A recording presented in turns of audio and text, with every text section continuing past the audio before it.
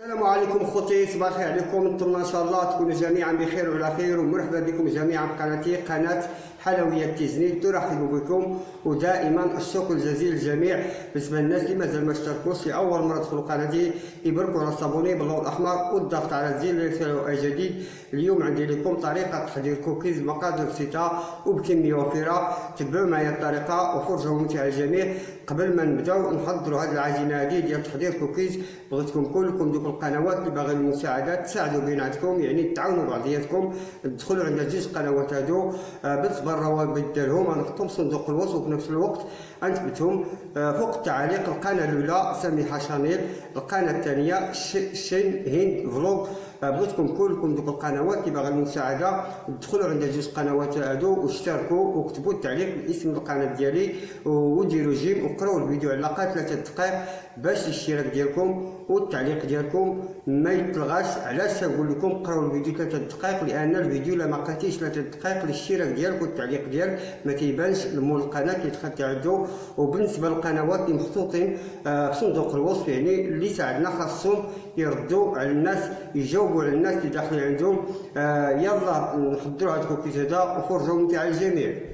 السلام عليكم خوتي صباح عليكم الناس اللي طالبين طريقه تحضير كوكيز بمقادير بسيطه طريقه سهله المقادير كالتالي عندي هنا 250 غرام ديال الزبده ديال التورق خاصه بالتورق أنا استعملت بوله يمكن نستعملوا باتيسور أو اطلس أو البدا أو ماماطي أو زكيه هادو كلهم الزبده خاصين بالتورق يعني باش نورقوا العجينه كما قلنا عندي هنا 250 غرام ديال الزبده ديال التورق دائما الزبده ما تنعملهاش في الثلاجه ودائما الزبده ديال التوراق راه ما تذوب لأنها ناشفة يعني ما ميدماش. 250 غرام عندي هنا 250 غرام سكر بودر. ثم عندي هنا جوج معالق كبار ديال المربى. بيضة وحدة خمارة وحدة. وعندي هنا قطع شوكولا إلا ما عندناش الشوكولاط نعملو الفواكه المعسله بالنسبة للدقيق اللي غنستعمل غنستعمل 400 غرام ديال الدقيق ديال ال force ولكن أنا ما استعملتش 400 غرام كلها أنا استعملت 300 غرام ديال ال force و100 غرام ديال الدقيق ديال الذرة. أنا عملت هاد الذرة هادي باش تهرس هاد ال force هذا. يمكننا نستعملو الدقيق ديال الفينو يمكننا نستعملو الدقيق ديال الشعير يمكننا نستعملو الدقيق الكم يعني 300 100 هي 400 كاملة. تبعوا معايا الطريقة. ناخذ الاناء ديالنا. غنخلطو الزبده والسكر اولا نخلطو الزبده والسكر مزيان حتى تنخلطوهم غير بيدينا ثم غنضيفو بيضة ثم نضيفو المربى ونخلطوهم من بعد نضيفو الدقيق طريقة سهلة بقاو معايا. نبداو على بركة الله هاد الكوكيز هذا راه تيجي رائع جدا مقادير بسيطة. كما قلنا 250 غرام ديال الزبدة خاصة بالتوراق إلى إلى عندنا الزبده ديال العبار يعني ديال الماكلة نستعملها. ولكن غنزيد شوية ديال الدقيق لأن الزبده ديال العبار تتكون ميدمه يعني مطلوقه ماشي بحال ديال التوراق. ديال التوراق تتكون ناشفة كما تشوفوا راه تتجي ناشفة. راه هي اللي تطلع الكيبان وهي اللي تطلع الوصفات ديال لاباط يعني تيكونوا منفوخين. ثم نضيفو المربى. كما قلنا جوج معالق ثم نضيفو بيضة وحدة. ونخلطو المقادير مزيان. حتى تنقصو على واحد الكريمة عاد نضيفو الدقيق تدريجيا. مازال غنحط العجينة ديالي فوق سطح العمل باش ندلكها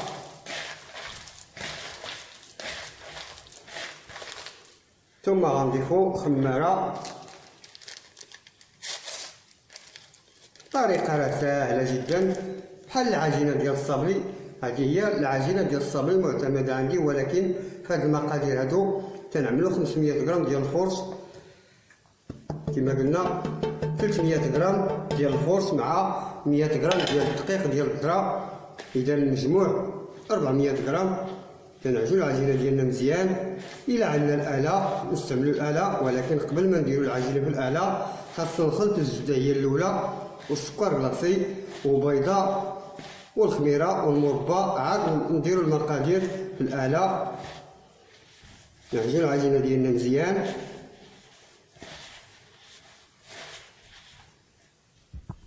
الآن نخويو العجينة ديالنا فوق سطح العمل كما تشوفوا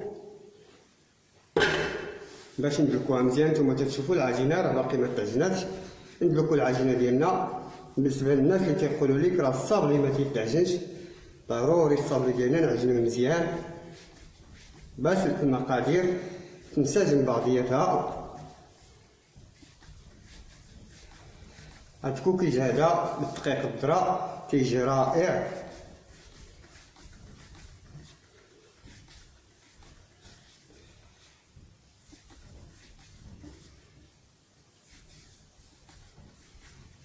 نرشم شوية ديال الدقيق.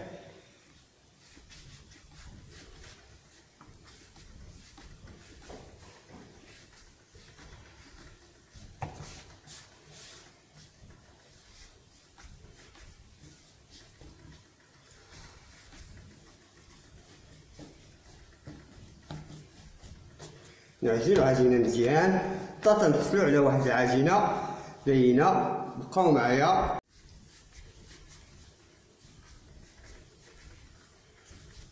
هانتوما شحال وأنا تنعجن في ديالي.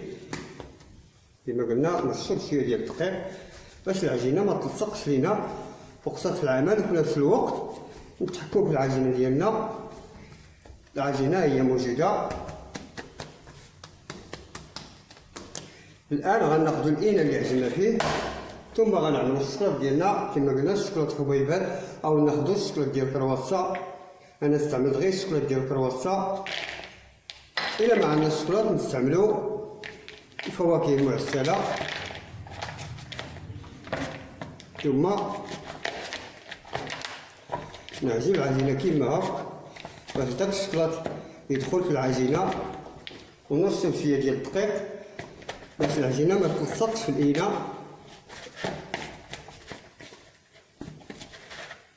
ثم نحطوها فوق سطح العمل ونرشها غير بشويه ديال الدقيق باش الشكلاط ديالنا ينتصر في العجينه كلها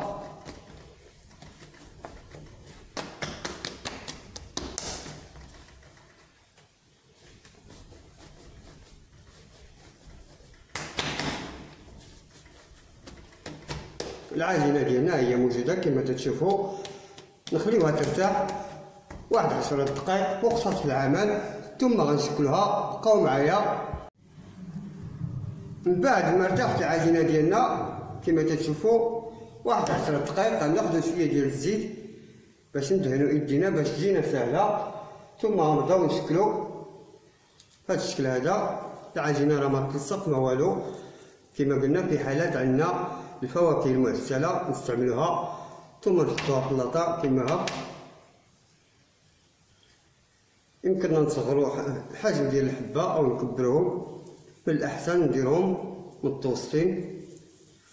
تشكلوها بهذه الطريقة هذه تنضغطو عليها غير واحد شوية في يدينا.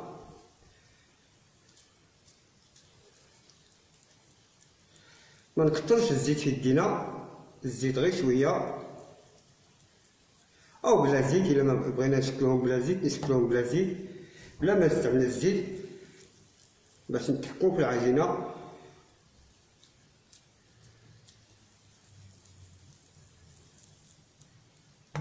العجينة راه ما تلصق ما والو لأن العجينة مخدومة مزيان.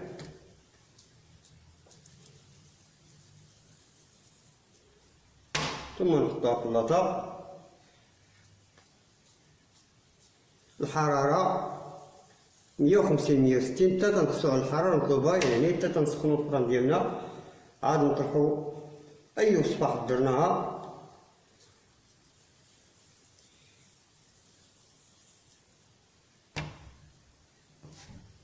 طريقة راه سهلة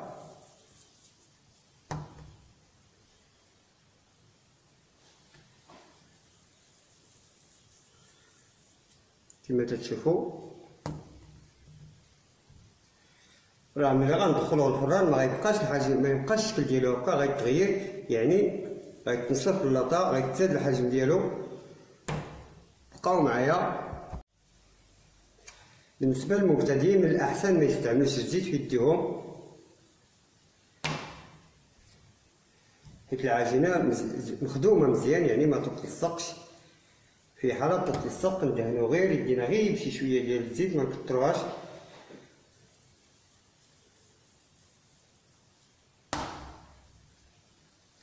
أنا راه كبرت الحجم ديال الحبة.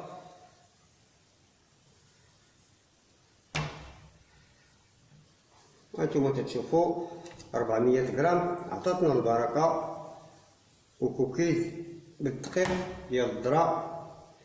تيكون أصفر اللون. الا بغينا نزيدو مازال الشكلاط هنا حبيبات الشكلاط نزيدوهم من الفوق.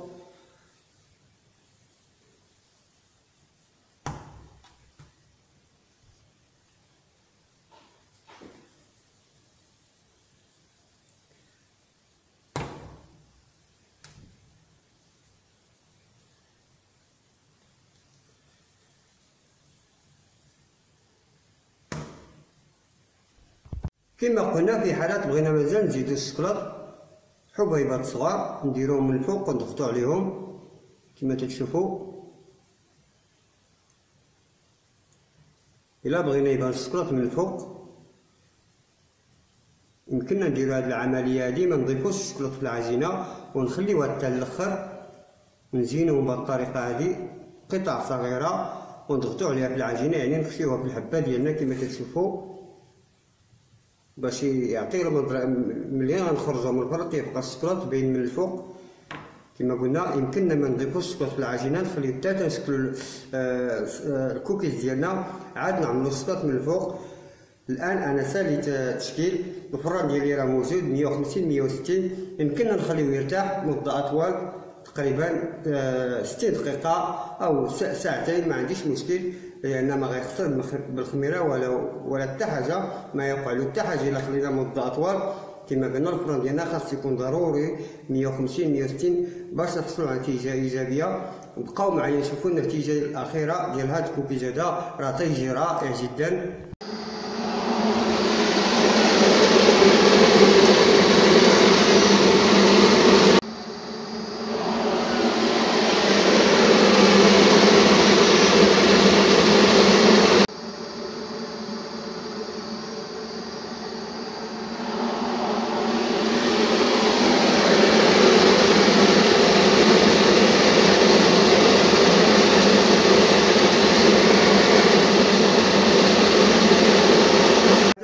الشكل النهائي ديال الكوكيز ديالنا كوكيز جافن جا رائع جدا نخليو الكوكيز ديالنا حتى تيبرد مزيان ما نقيسوه ما حتى حاجة.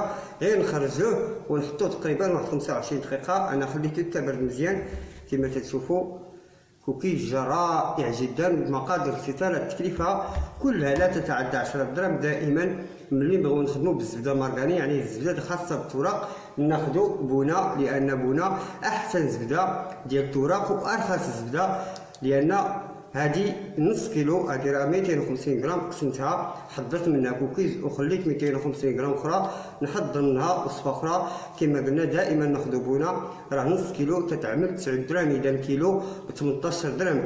إلا قسمناها على جوج نص كيلو نقسمو على جوج يعني 4 آه، دراهم و50 باش تطيح ماشي بحال آه، ماشي بحال ماماتي وماشي بحال اللذة تيقعوها بستة دراهم في الحوان تيدان تيغليوها من الأحسن ناخدو نص كيلو بتسعة دراهم أو عشرة دراهم بعض المرات تتباع بعشرة دراهم وبعض المرات تتباع بتسعة دراهم هاد البونة هادي ونقسموها على جوج. هانتوما تتشوفو كوكيز تيجي رائع جدا. كما قلنا نخليوه حتى تيبرد مزيان. هانتوما تشوفو كوكيز ما يتهرس ما والو. وجا رائع جدا الشكل ديالو المنظر ديالو. أنا راه مازال زدت الشكلاط في الأخر. كما قلنا من الأحسن العجينه ما نديروش فيه الشكلاط. إلا ما بغيناش حتى تنشكلوه عاد نديرو الشكلاط من الفوق. كما كما وريتكم في الفيديو الأخر. هانتوما حصلنا على كميه وفيره كما قلنا الوصفة كلها لا تتعدى 10 دراهم وحصلنا على كميه وفيره ولكن كوكيز فيه واحد المذاق رائع. وبالاخص عملنا فيه الدقيق ديال الذره نتمنى إن شاء الله يعجبكم هذا الفيديو هذا.